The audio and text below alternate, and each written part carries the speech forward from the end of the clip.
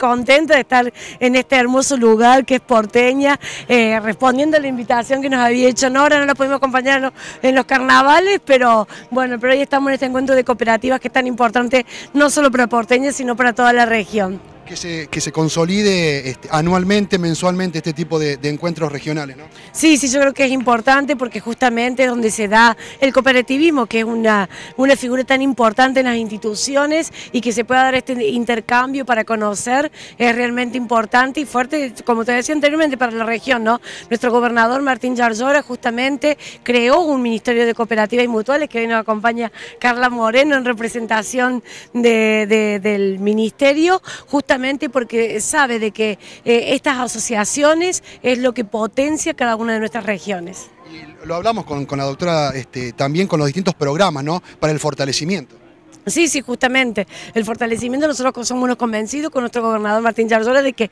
las transformaciones se dan de abajo para arriba y las cooperativas son las que están en contacto con nuestros vecinos. La última, y la, dejo ahí, la llevo al ámbito político ahora, lo que va a pasar y lo que tiene que ver con la responsabilidad de la oposición al momento de la ley de bases. Sí, bueno, mira, nosotros dijo nuestro gobernador que va a acompañar junto con nuestros diputados y senadores para que la ley de base salga, porque es una herramienta que necesita el presidente para poder gobernar. Obviamente que en la primera, eh, cuando fue la ley de ómnibus, en, ley ómnibus en febrero, el gobernador defendió los intereses de Córdoba para que no se aumenten las retenciones, para que no se creen buenas